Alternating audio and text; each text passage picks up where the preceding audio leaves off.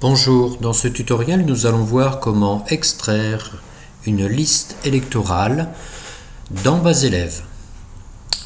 Donc vous vous connectez à Base Élève via l'intranet académique et ensuite vous allez dans le menu Liste, puis dans la rubrique Élections et vous cliquez sur le lien Édition des étiquettes.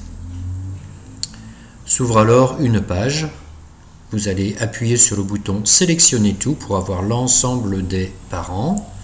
Et ensuite, il ne vous reste plus qu'à cliquer sur Liste format CSV en fin de page. Va s'ouvrir un document que vous allez enregistrer sur votre bureau, de préférence dans un dossier, par exemple élection ou étiquette. Ce document va s'appeler CSV liste électorale.csv. Nous allons ensuite préparer ce document pour le transformer en classeur, puis en base de données, et ensuite nous allons construire les étiquettes à partir de cette base de données.